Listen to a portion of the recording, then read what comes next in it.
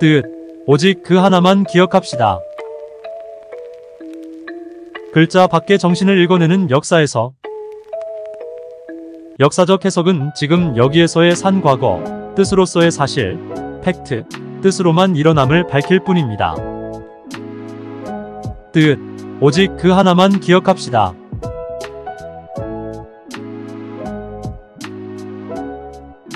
글자 밖의 정신을 읽어내는 역사에서 역사적 해석은 지금 여기에서의 산 과거, 뜻으로서의 사실, 팩트, 뜻으로만 일어남을 밝힐 뿐입니다. 과거의 사실은 뜻으로서의 사실이요.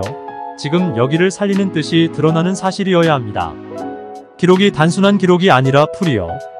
창작이라 함은 객관적 사실로서의 이야기가 아니라 해석된 사실로서의 이야기라는 뜻입니다. 해석은 주관의 렌즈를 낄 수밖에 없습니다. 물론 여기서 주관의 렌즈란 보편적 주관성, 보편으로서의 나를 의미합니다. 그렇다고 서로 충돌하는 나, 거짓 나가 역사를 보지 않습니다. 사실보다 뜻이 더 가깝습니다. 뜻이 더 아르케입니다. 이른바 함석헌의 역사는 뜻 해석학입니다. 사실 해석학이라기보다 뜻 해석학입니다. 사실도 이미 선택과 해석이라는 주관과 자의에서 벗어날 수 없습니다. 이에 사학계의 원로 강만길 교수도 어떤 사실을 역사로 보고 쓸 것인가에 대한 고민을 고백했습니다. 이는 한 인물이 속했던 한 시대의 시간과 공간을 선택하고 기입하는 문제가 그리 간단하지 않다는 것을 증명합니다. 주관은 보편으로서의 나이어야 합니다. 개별자로서 유일자로서의 나가 일어난 사건에 대하여 풀이하고 해석한다고 할 때 그 나는 시원성을 가진 나입니다. 다시 말해서 나는 너로서의 나와 다른 유일자지만 동시에 역사의 추동자요 역사적 주체의 능동적 힘으로서 역사를 기입하는 보편적 나. 곧 민중, 고난받는 씨알의 시선이 총합된 나가 되어야 합니다. 함석헌이 이야기한 보편으로서의 나는 진보사학자 하워드 진을 연상하게 합니다. 그는 사회적 아나키스트입니다. 역사를 기입한 수많은 자아들의 고통과 억압과 죽음과 핍박의 사건들을 주관적으로 선택하여 재구성합니다. 그들의 시간을 재기입한다는 말이 맞을 것입니다. 무시된 사건들, 생략된 그들의 시간들이 어떻게 기입되어야 하는가를 비판적으로 해석하는 것은 함석헌과 다르지 않습니다. 함석헌이 엄밀한 편년체나 분류사적 방법을 띠고 역사를 해석한 것은 아닙니다. 다만 함석헌의 역사인식은 수많은 민중의 나를 소중히 여기고 그들이야말로 역사를 만들어가는 능동성을 지닌 인간 주체임을 누누이 강조하고 있습니다. 함석헌이 역사가 과거의 사실이 아니라 살아있는 현재에 다시 기입되어야 하는 시간이라는 점을 거듭 강조하는 것은 무엇 때문일까요? 사실, 기술, 연구의 아닌 뜻의 역사를 찾자는 있습니다. 세계의 밑에 흐르고 있는 정신을 붙잡게 해주자는 주장과 말씀을 가지는 역사를 기입하자는 것입니다. 그것이 CR의 역사입니다.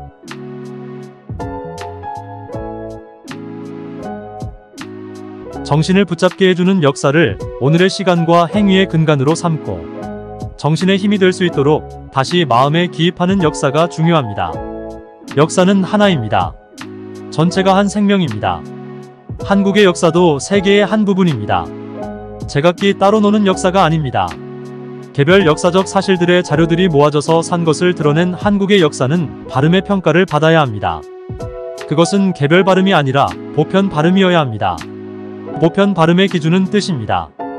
뜻이 있으면 보편 발음의 기준에 부합하는 것으로 보아야 합니다. 오로지 뜻, 정신입니다. 민중의 바탕이 되는 뜻이 역사적 사실과 부합해야 합니다. 그러므로 뜻은 개별 역사, 부분 역사이지만 전체 역사에 기입되는 중요한 요건입니다.